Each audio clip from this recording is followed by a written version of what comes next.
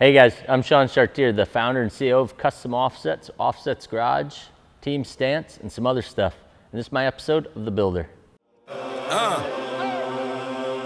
I'm just to rewrite history, cause I'm in the mood to label us the leaders of the leaders of the new school. This ain't for the radio, can't find this on YouTube. This the type of killing that these critics ain't used to.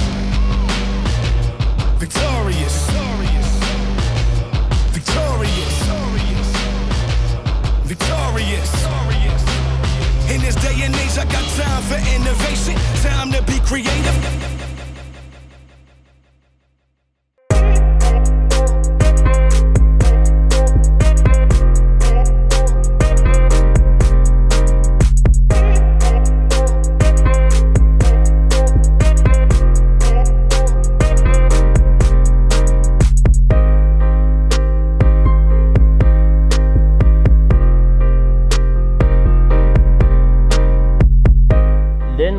The point where we had actually picked up the CO Lambo.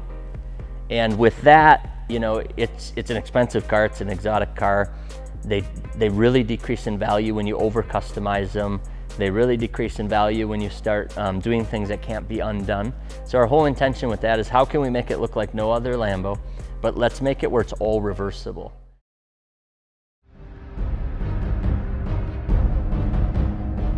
It really is a fascinating thing when you watch the custom car or truck builder. Whether the person is a full restoration builder, or a visual customizer, or a full-blown adrenaline junkie motor guru. That is not for you or I to judge. The desire to stand out. The desire to bring back the past. The desire to go so fast. It's all in the spirit of creating something that you can see or feel, but others likely do not understand. It never goes smoothly. The word custom is synonymous with difficult and challenging. If it was easy, everyone would do it. But the failures and challenges setbacks and letdowns. They are the addiction. The harder it is to pull off, the more rewarding the accomplishment. There will never be another feeling like that first drive. When everything is exactly the way you pictured it. When that blank canvas becomes the work of art you could see, but no one else understood now they can see it.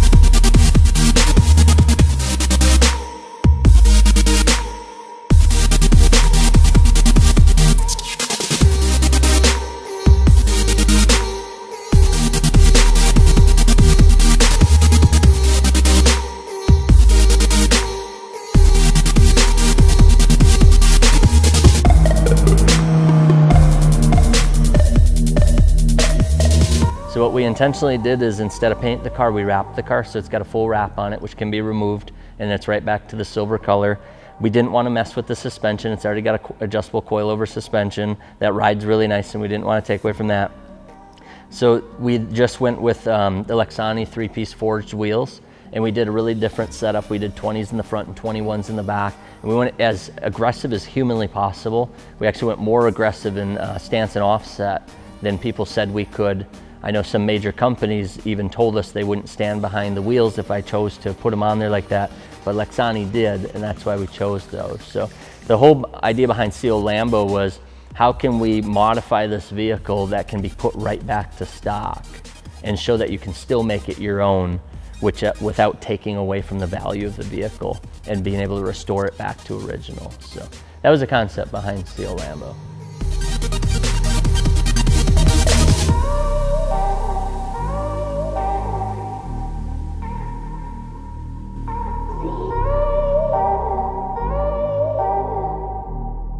So then at that point, we had CO2 and CO Lambo, and it started to become winter in Wisconsin, and I realized I didn't have a plan because I had decided with the white painted suspension on CO2, I didn't want to run it year round, that which was the original plan. So I got kind of backed into a corner and had to make a decision. I was looking at a lot of used trucks and I didn't want to deal with the problems. So I decided to get CO24, which is the most base model Chevy Silverado, um, double cab you can possibly get. It was, I literally went there and I said, do you have a black one? I'll take the cheapest black one you have. That was that truck.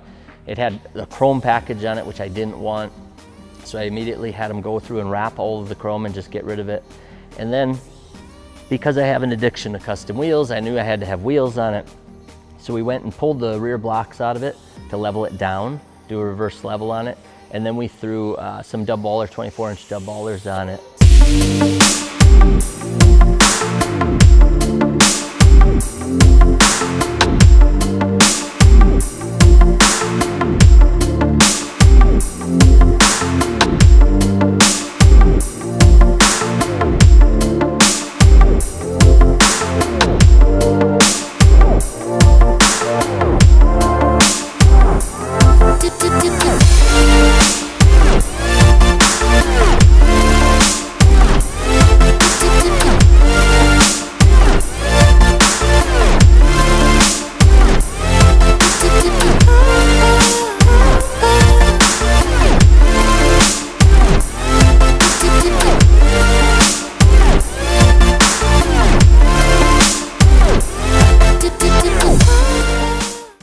Pretty much where that one is stuck.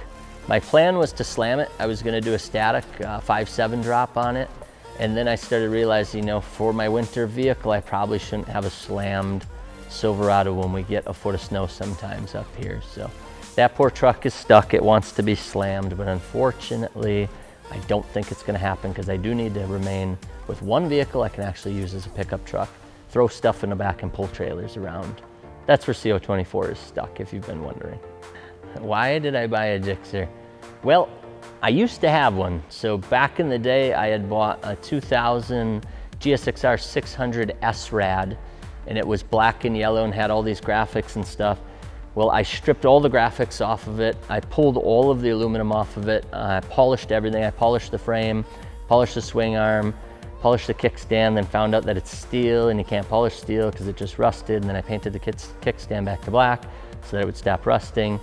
But I took that whole bike apart and I basically turned it into a Corona theme bike. So I had the Corona race um, or Corona stickers on it and a couple of race stickers to kind of just make it my own thing. And I of course had the spikes around the windshield and everything back in the day. So as I started getting to be a not so young guy, I was starting to miss that because I had sold that bike many, many years ago.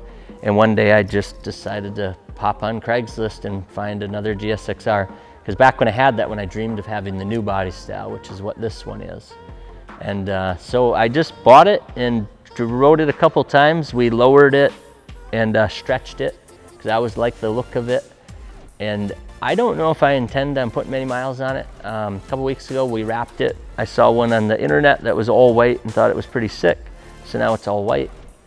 And I think it's one of those things where I just like having it when I, I just need to take a ride. But I, I actually just like looking at it more than anything. It's one of those vehicles that I had it, I had a lot of good memories with it. And I just wanted it back so that when you look at it, you kind of have those memories of that first one that I built because if you're not picking up on this, I can't leave anything alone. I've never had a, a stock anything ever. I've even customized my lawnmowers. My riding mowers have had Dukes of Hazzard themes and everything else. So I can't leave anything alone. People get really mad that I have a Hummer. they throw eggs at it, they throw baloney at it. I'm not sure what the baloney was a sign of, but I thought it was bologna. So the reason I had an avalanche is because nobody else wanted avalanches and I knew I could make it look sweet. The reason I've bought all these vehicles is because I always have to have the one that stands out on the road. Everybody has always been mad about Hummers and that makes me like them a lot. Um, when they came out, I wanted one. When the H3 came out, I wanted one even more. When the H3T came out, I wanted that even more. And then the value of the H2 started coming way down. I can't remember what we were doing one day and we just decided we should go get a Hummer and then like that day I hunted for them all day and we bought one that night at about 11 o'clock at night. I uh, went and picked it up and I talked myself into needing a yellow Hummer because Hummers are supposed to be yellow and that screams Hummer but then I got it and put chrome wheels on it and it made people so mad that I couldn't go anywhere without them yelling at me because they were so mad that it was a yellow Hummer with giant chrome 22 inch wheels. So then we went and uh, linered it to be the charcoal gray. And now it still has chrome wheels to make people mad, but they all want it to be black. So they're gonna stay chrome.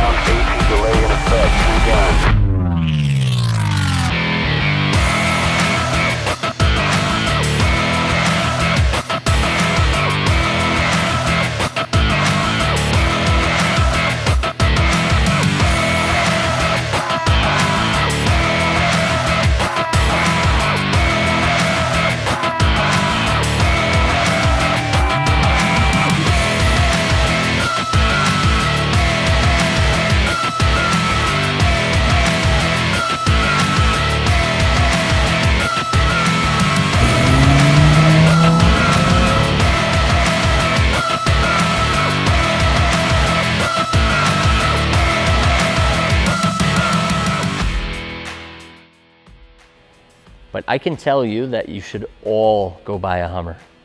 It is so fun to drive. It's so cool to be in. It water pours through the windshield every time it rains. If you go through a car wash or go to the uh, uh, car wash, when you're leaving, the water just dumps onto the dash. You don't even know where it's coming from. And all you think is, I feel like a Hummer should leak water right through the windshield. Because you feel like you're off-roading, but you're really just driving through town. You just left the car wash and it's just running water right through it. I have a feeling that Hummer's gonna get wrecked this summer because I'm gonna be going up to my cabin and it just keeps looking at me like I should beat the living piss out of it in some mud holes. So that's probably gonna happen. Uh, as far as what's next for me on the vehicle builds, I'm pretty much gonna stall for a minute here. Um, I've kind of hit that point. We just sold the CO Avalanche because I can't keep up with all the vehicles. Um, took me most of the day to get these ready just for this video. Uh, so it's becoming the point where I can't enjoy them all. So I've, I've let CO Avalanche go, which was really tough to do, but it was time because it was gonna sit there and rust and now somebody else can enjoy it. Um, I would say these are all I can handle. Uh, two of them, the Avalanche, or the Avalanche, the uh, CO2 and the Lambo will be making their way to our new showroom. We're actually about to build a new facility for custom offsets. So those will uh, be making their way there. And then the other two I will continue to drive a lot. Uh, I'm kind of taking a break. So like I said, I went from you know building vehicles to building businesses. Right now I'm really focused on building custom offsets to what I know it can be. Uh, so we're reinvesting all of our time and money into that, which is why we're building a very large facility and you know we just keep keep working harder and harder to create that. Fitment inc. is our new brand. So we're really trying to help out with the car market and help out with car fitment and go to that next level with um, vehiclesfitmentinc.com if you guys haven't checked it out if you're car guys. So i would say i'm focused right there. And i know that my next vehicle is going to be an aventador. Um, when i got the lamborghini gallardo i thought i could get over the doors that open like this rather than like this, like on the Trapper Keeper I had when I was eight and on the clock that I had when I was 10. But every time I get out of it and the whole family goes, oh, because they thought the doors were gonna go up, it just, it hits you right there. and you know that, you know, when I was a kid, that's what I wanted were those Lambo doors. So I have to get an Aventador for that reason. I don't like the Murcielagos. There's just something about them that makes me angry. So, and then Kevin says that I have to wide body the Aventador. So that will definitely be what's gonna happen. I think I'll get one, drive it for one summer, and then have it go into surgery for the whole winter and come out wide body on air and just do the ultimate build, um, the dream vehicle that you know you can take out and just uh, you know know that you've you've built that ultimate machine that you've out you saw at SEMA. I saw one there my first year five five years ago, and I just fell in love right away, or four years ago, whatever year they came out, five years ago, first year they came out, and uh, I knew that that was going to be the end vehicle. The trouble is I don't want to get to the end yet, so I'm going to take a few years before I do that. In the meantime, I've kicked around the idea of getting a CTS, um, either a V or I'd like to get all-wheel drive so I can play with it in the winter too. So I'm kind of torn between the two. So either turbo, the uh, all-wheel drive, or just do the V. And then it needs to have like Lambo doors and stuff to really make people mad and make it unique. So that, I think that's gonna probably be the next toy because then I can put the whole family in something that looks like a Lamborghini and has Lamborghini doors, but it's not a Lamborghini and people are confused and angry at the same time. You know, it was funny because when we were preparing for this, I had these parked out front because I was detailing them and they're sitting in front of my, you know, modestly or low priced house, according to the comments that came across Facebook and Instagram. And people, you know, made a joke that my vehicles are worth twice as much as my house. And that is extremely true, and that will stay true. Because to me, a house is something you go home to sleep in. Um, I've got my shop for entertaining, so we usually have meets and get people together there. My house is just where I sleep. I, you know, houses do nothing for me. Vacations I like to go on, but I don't really like to just, you know, spend a ton of money because after a week of vacation, you come back and you're back to just the regular day to day. I have been obsessed with vehicles, um, bikes, cars, trucks, because you can jump in at any time and just go. You know, you can just escape, uh, and it's just you in that vehicle. And I think that's the difference, and that's why I've got that obsession. Because at the end of the day, and you hear people say it, no matter what happens, I still got my truck. And I think that, you know, even if the economy gets really bad, people still spend money on wheels for their truck. Because as long as they drive that thing on a backcountry road, they don't care, you know?